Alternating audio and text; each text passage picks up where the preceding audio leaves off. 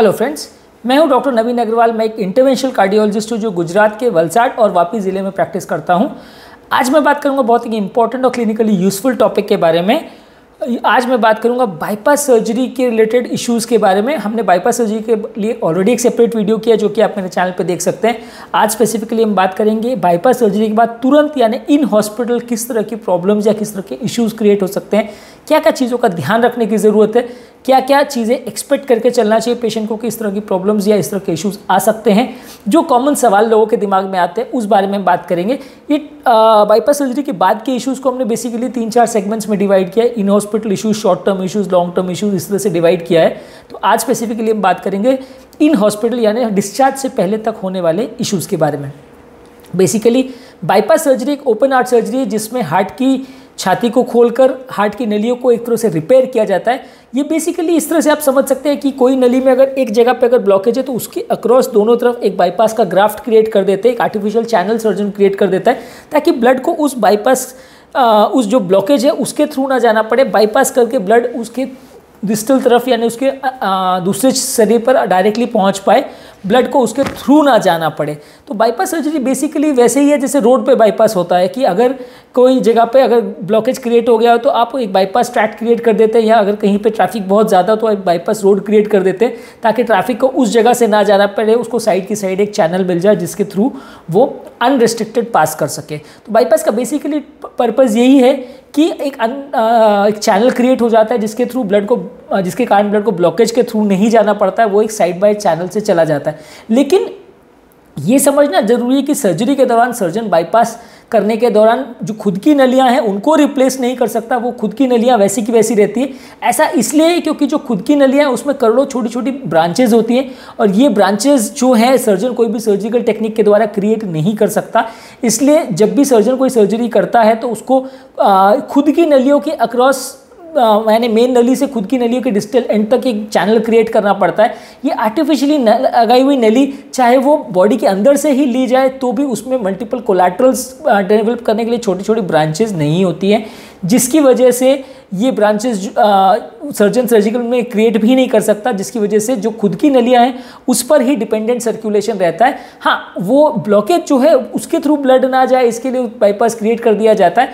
पर कई लोगों का ये कॉन्सेप्ट होता है कि बाईपास के दौरान सर्जन एक नई नली क्रिएट कर देता है या नया ट्रैक्ट क्रिएट कर देता है या नली को ही रिप्लेस कर देता है, वैसा पॉसिबल नहीं है। क्योंकि मेन नली को तो आप रिप्लेस कर भी सकते हैं, पर उसकी ब्रांचेज आप क्रिएट नहीं कर सकते सर्जिकली सबसे पहले बाईपास को 1967 में फेवेलोरो नामक सर्जन ने सबसे पहले किया था। लगभग 60-70 साल से ये टेक्नोलॉजी है, पर पिछले 20-25 सालों में क्योंकि एंजियोप्लास्टी की टेक्नोलॉजी बहुत ज़्यादा कॉमन हो गई, बहुत ज़्यादा इजीली एक्सेसिबल हो गई है, बहुत सेंटर्स पे अवेलेबल है और सर्जरी के कंपैरिजन में कम कॉम्प्लिकेटेड है, इसलिए ज़्यादातर आजकल लोग एंजियोप्लास्टी को प्रीफर करने लगे हैं। एंजियोप्लास्टी और बाईपास में क्या डिफरेंस है, इसके लिए सेपरेट हमने एक ऑलरेडी वीडियो किया जो कि आप मेरे चैनल पर देख सकते हैं। आज बात करेंगे बाईपास सर्जरी के। इन हॉस्पिटल यानी हॉस्पिटल के स्टे के दौरान आने वाले इश्यूज़ के बारे में। सबसे पहले समझना ज़रूरी है कि बाईपास सर्जरी में सर्जन छाती की नली को खोल के हार्ट की नलियों को रिपेयर करता है।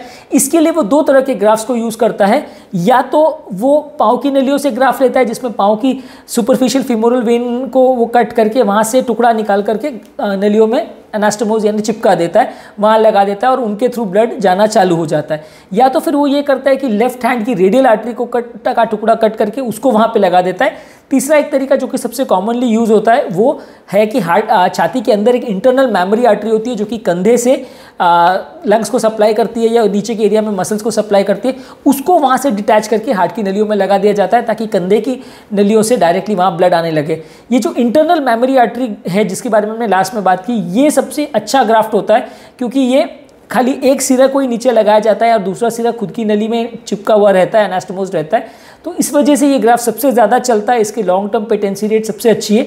10 साल इंटरनल मेमोरी आर्टरी वाली ग्राफ में पेटेंसी रेट लगभग 95 परसेंट रहता है। रेडियल आर्टरी यानी लेफ़्ट हैंड से लिया हुआ आर्टरी वाला जो ग्राफ्ट है, वो 10 साल में लगभग 85 परसेंट केस में चालू रहता है और पाँव की नलियों से लिया हुआ ग्राफ दस साल में खाली फिफ्टी केसेज में ही चालू रहता है।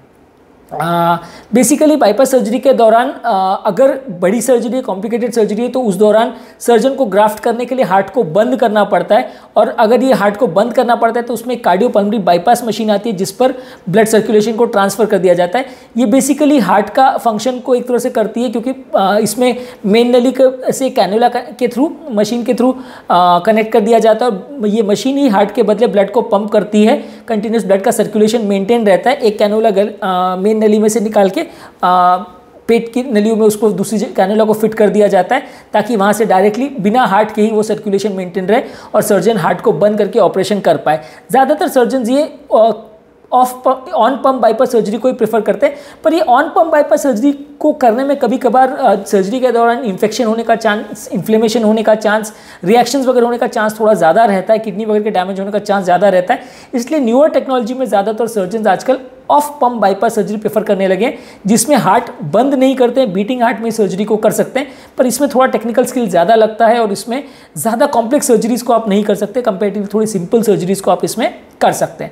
ज़्यादातर बाईपास सर्जरी के दौरान एडमिशन का जो ड्यूरेशन है वो लगभग पाँच से सात दिन तक रहता है, जिसमें पहले एक दिन पेशेंट वेंटिलेटर पर रहता है।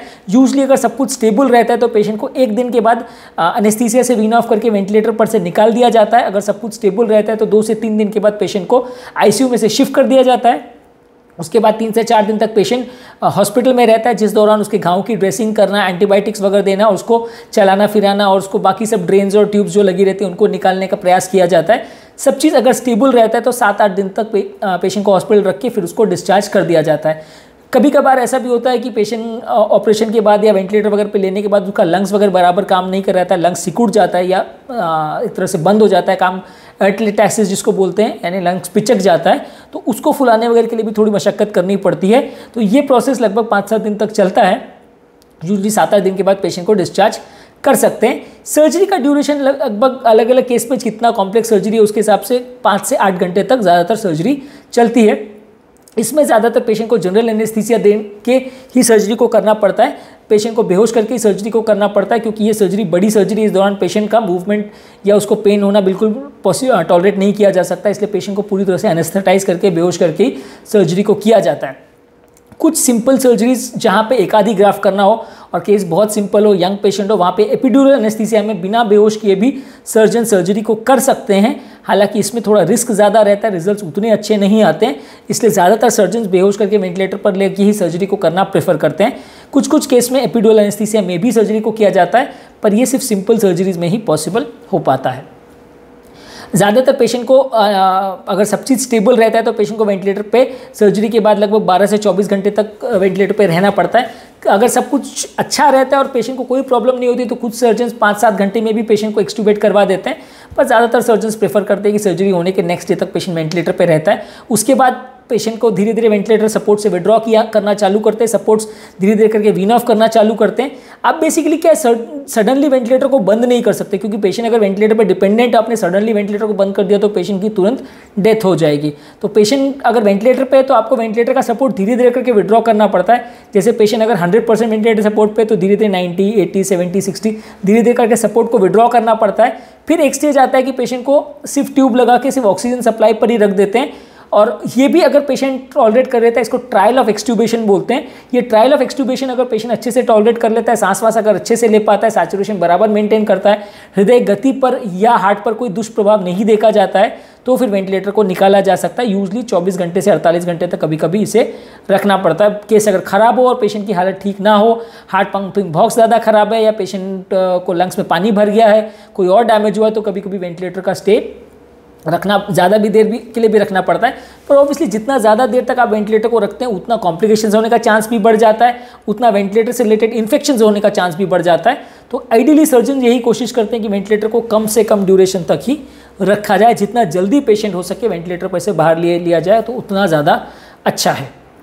बाईपास सर्जरी के दौरान पेशेंट की एक से दो परसेंट पेशेंट की जान जाने का भी रिस्क है, क्योंकि बाईपास सर्जरी के दौरान सडन धबकारा कभी कभी अनियमित हो सकता है हार्ट बंद पड़ सकता है। कई बार सर्जिकल ग्राफ्स वगैरह लगाने के दौरान वहाँ से ब्लीडिंग हो सकती है, वहाँ इन्फेक्शन हो सकते हैं। जब मेन नली को हम कैनुलेट करते हैं बाईपास सर्जरी एटोपनरी बाईपास मशीन में कनेक्ट करने के लिए तो वहाँ पर कई बार क्लॉट अगर निकल के ब्रेन वगैरह में भी जा सकता है। कई बार हार्ट के अंदर कोई क्लॉट वगैरह तो भी निकल के वो ब्रेन में जा सकता है।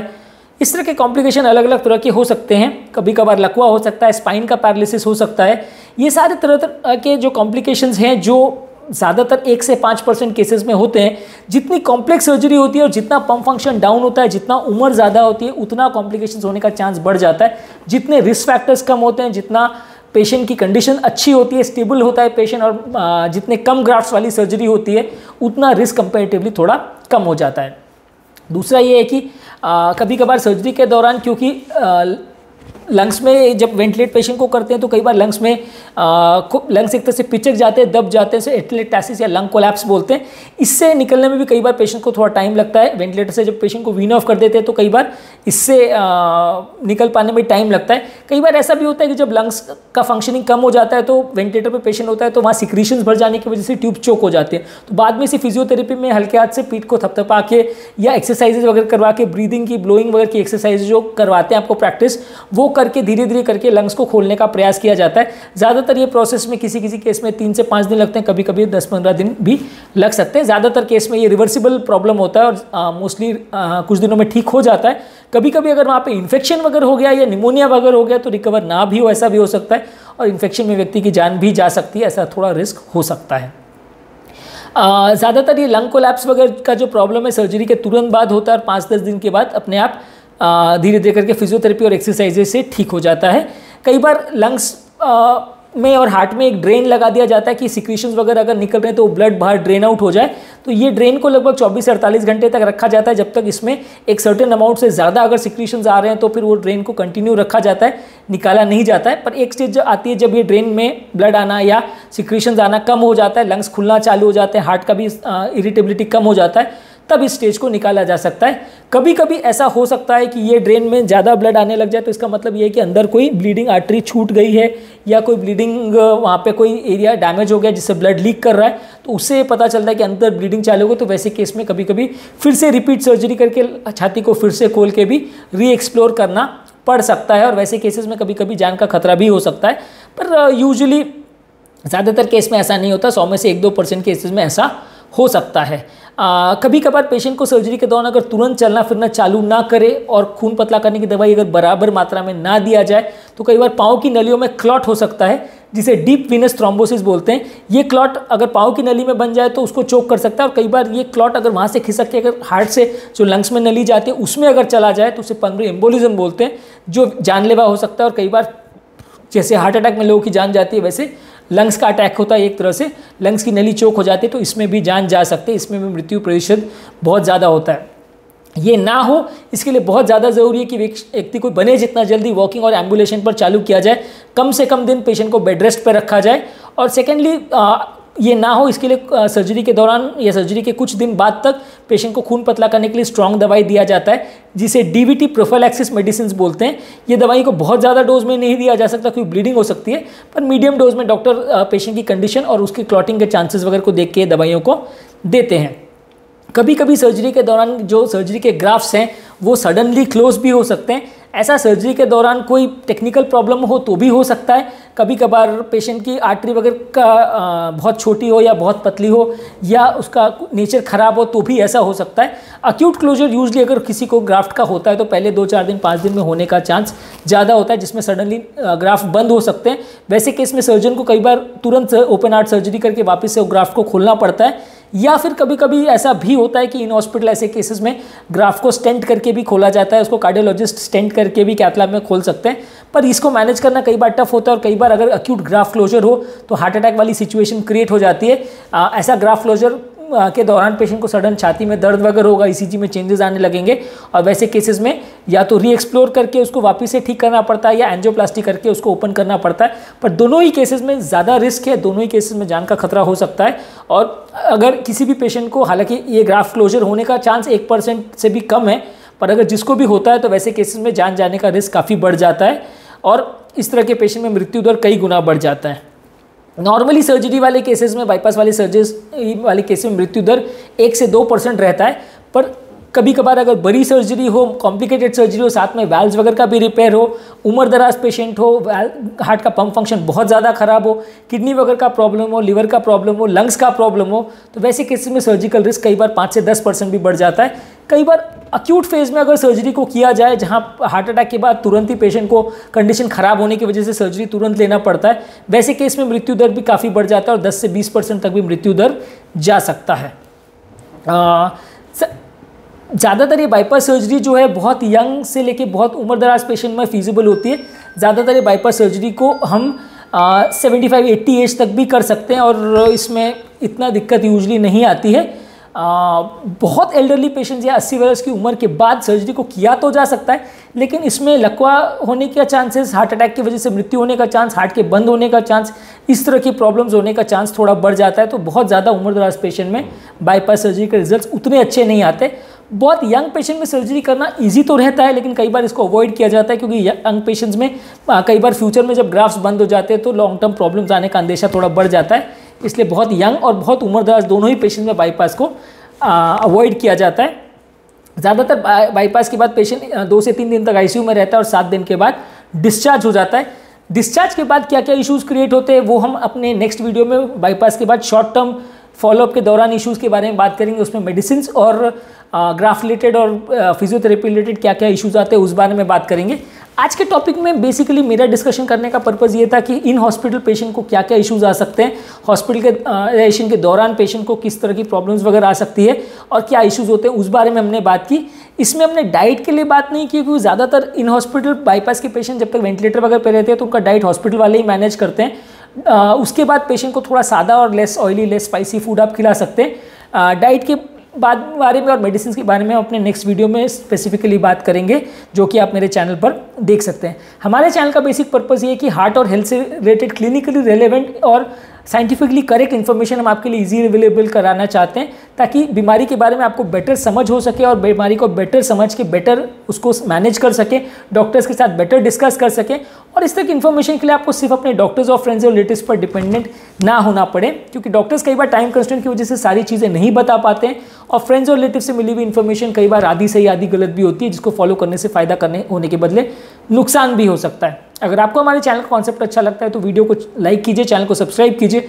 अगर आपको लगता है कि कंटेंट आपके फ्रेंड्स और रिलेटिव्स के लिए यूजफुल है तो वीडियो के लिंक को उनके साथ शेयर कीजिए। अगर आपको ऐसा लगता है कि कोई और टॉपिक पर हमको अपने चैनल पर बात करनी चाहिए, जो कि हार्ट और हेल्थ से रिलेटेड है तो नीचे डिस्क्रिप्शन बॉक्स में उनके बारे में हमें बताइए, ताकि सब्सिक्वेंट वीडियोज़ में हम उन टॉपिक को कवर कर सकें। Thank you